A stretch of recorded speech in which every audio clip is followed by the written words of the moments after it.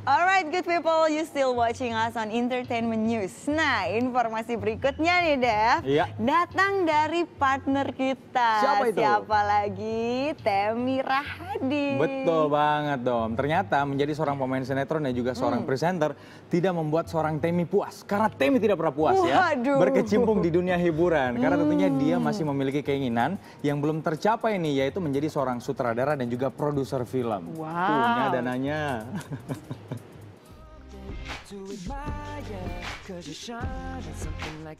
Temi Rahadi, salah satu presenter dari Entertainment News yang juga merupakan aktor ini, ternyata memiliki keinginan untuk menjadi seorang produser dan sutradara. Dan untuk memenuhi keinginan yang sekaligus merupakan impiannya itu, Temi sudah memiliki rencana untuk membuat sebuah film.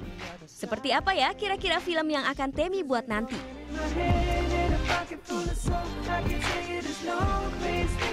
Saya sama teman-teman udah punya rencana bahwa tahun depan kita buat sebuah film ya. Rencananya genrenya sih eh, ya tentang drama lah, drama remaja atau tentang percintaan lah, love story gitu. Indonesia kayaknya udah lama banget nggak ada cerita cinta yang terakhir yang saya tahu, saya secara pribadi tahu adalah Ayat Cinta kan sama ada apa dengan cinta. Setelah itu belum ada lagi yang kena banget di eh, penonton film Indonesia dan mudah-mudahan ya kan apa yang kita konsep dari sekarang sama teman-teman bisa diterima nanti dengan baik hati masyarakat.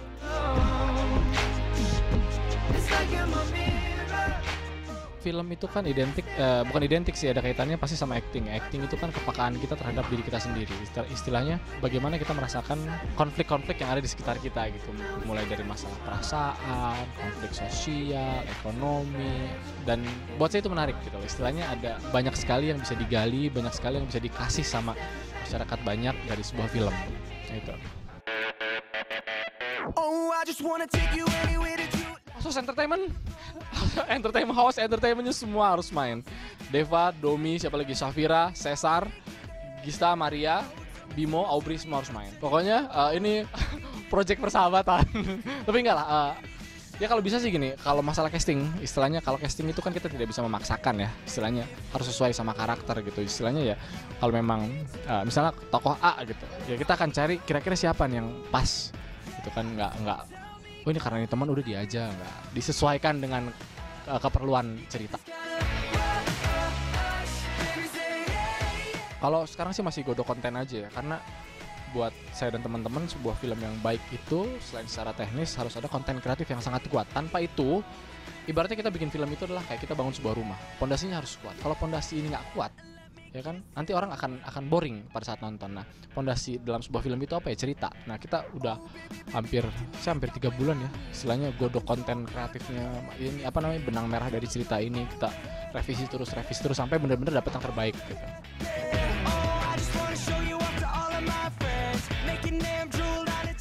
Wow, luar biasa sekali. Babang Temi. Dahsyat ya, makanya tadi saya tuh sempat nanya punya dananya nggak mau jadi produser. Nah, Kan soalnya ternyata- produksi film itu kan lumayan besar ya dananya. Betul. Nah, Ternyata yang diajakin adalah kita-kita. host-hostnya.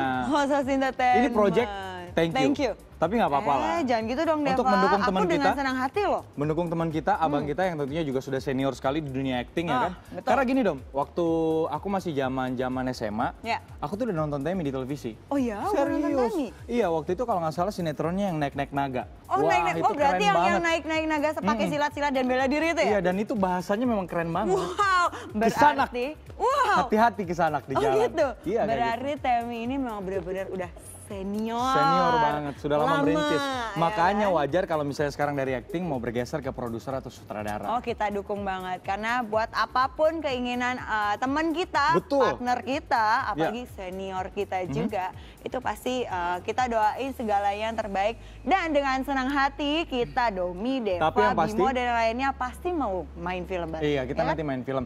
Tapi pasti ya, mimpi terbesar sebenarnya bukan produser atau sutradara. Ya. Menikah. Nah, itu lebih bagus lagi. Kalau bisa dua tiga pulau terlampaui itu lebih bagus lagi, Tem. Good luck Well, buat Temi ya. Tapi buat Temi ya, tentunya sukses di dunia acting. Jangan lupa untuk selalu berbisnis juga ya, Iya, supaya betul. apa ada backup lah nanti di masa tua. Benar.